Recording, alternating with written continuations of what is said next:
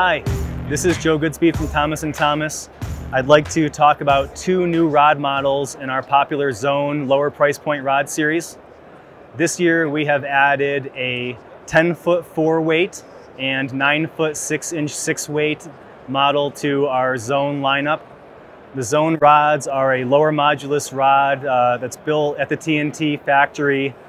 It has all of the same manufacturing process steps being built in our factories are higher price point rods, but these rods retail for between 495 and $545.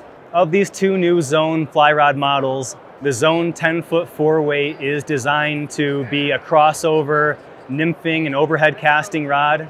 That's a nice rod for uh, indicator nymphing, but it'll still be able to cast a weight forward four weight fly line overhead and do some dry fly fishing, small streamers. That's a nice versatile, you know, trout rod for doing a wide range of things.